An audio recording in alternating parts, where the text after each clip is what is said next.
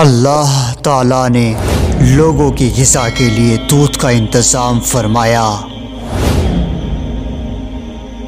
और उसके लिए गाय, भैंस, ऊँट बकरी जैसे जानवर पैदा किए, जो अपने बच्चों को भी दूध पिलाते हैं और इंसानों के लिए दूध और किसाई ज़रूरत को भी पूरा करते हैं। गौर फरमाए, तमाम चौपाए एक ही तरह के घास खाते हैं, मगर उन जानवरों के गोबर और खून के दरमियान से साफ़ सुथरा और गिजा से भरपूर सफ़ेद दूध कौन निकालता है?